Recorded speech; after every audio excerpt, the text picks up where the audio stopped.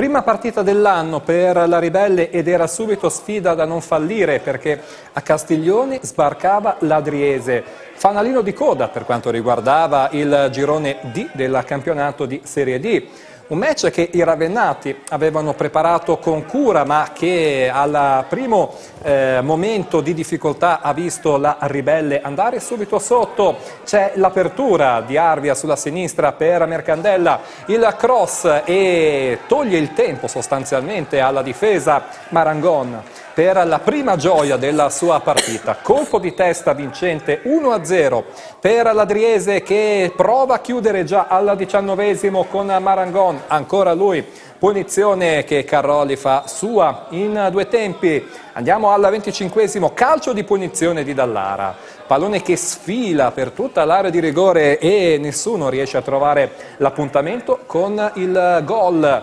Un gol che invece trova successivamente l'Adriese il diagonale di Marangon, la doppietta per lo scatenato numero 10 che sfrutta al meglio l'assist di Zanellato e Ribelle che a questo punto cerca di accorciare, ce la fa al 41esimo, colpo di testa di Dal Compare sulla punizione di Dallara, Dal Compare che poi resta a terra contuso e infatti viene anche sostituito pochi minuti più tardi, entra Azzori e all'inizio della ripresa all'ottavo è proprio Azzori a mettere al centro questo pallone su cui Bernacci però arriva in ritardo toccando a lato. Andiamo al quattordicesimo, il palo centrato dalla lunga distanza da Zanellato. Poi al ventiquattresimo minuto la Ribelle ancora in attacco.